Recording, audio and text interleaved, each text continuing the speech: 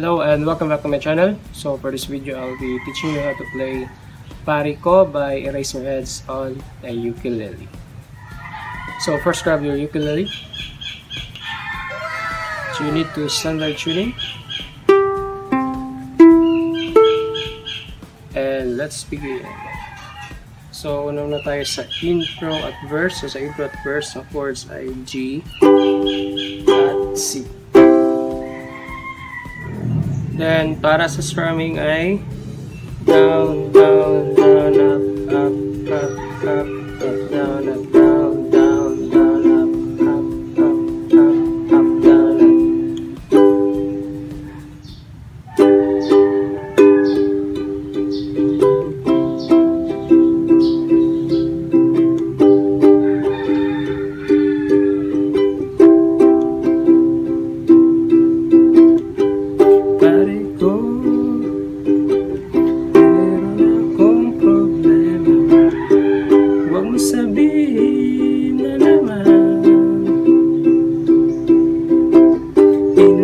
love ako.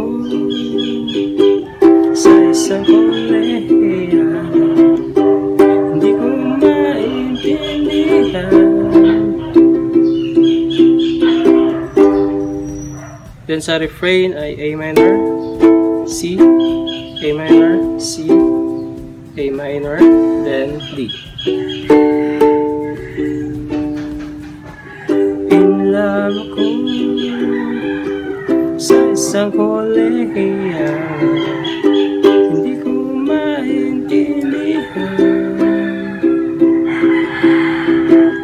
Huwag na nating idaan sa mabuting usapan.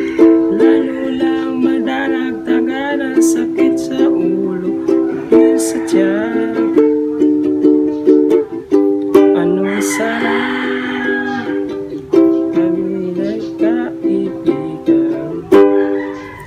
Then sa second refrain ay A minor, C, A minor, C, then A minor, C, D. Yun pala, hanggang doon lang agad. Akala ko ay pwede pa.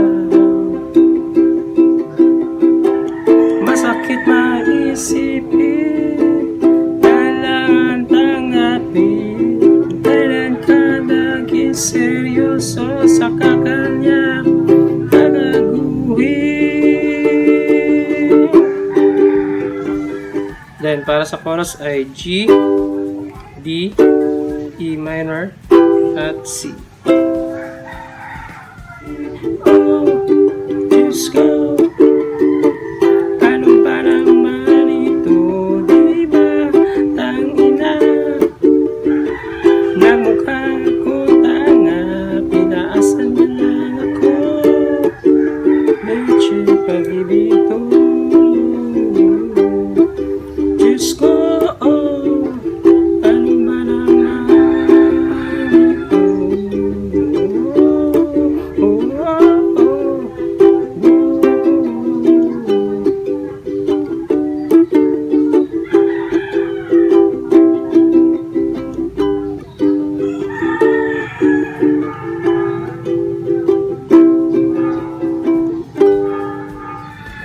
sa part ay A minor, C, A minor, C, A minor, C, then D. Then pagkatapos ito ay A minor, C, G, D twice, then A minor, C, G, E minor, A minor, C, Presidente. Pinagtagal Nang gano'n na rin ang tema Kulang na lang ay sagot niya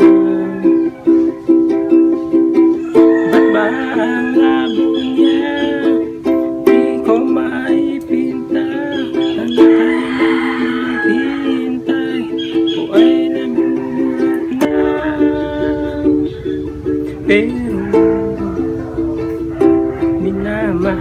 siya. Pero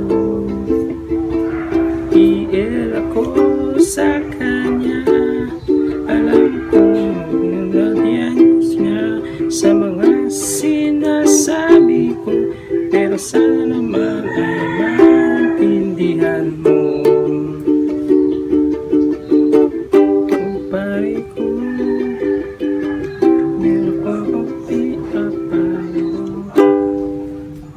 So, more or less yun lang mga chord progressions na ginamit sa kanta. So, again, yun ang kantang Pari Ko by Eraserheads. So, salamat sa panonood at kita-kits sa susunod na video.